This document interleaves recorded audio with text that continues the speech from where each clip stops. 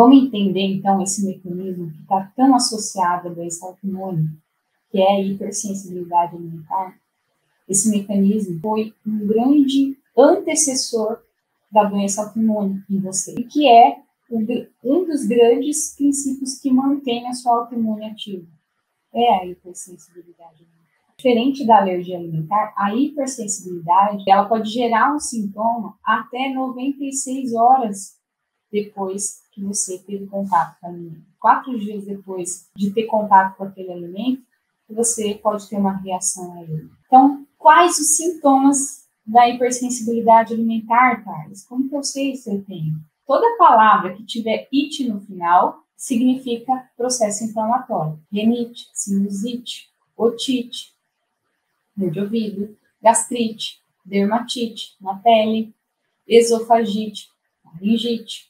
E aí você também pode ter sintomas relacionados ao seu trato gastrointestinal, sangramento intestinal, diarreia, constipação, gases, náuseas, vômitos, sintomas localizados já ao trato gastrointestinal.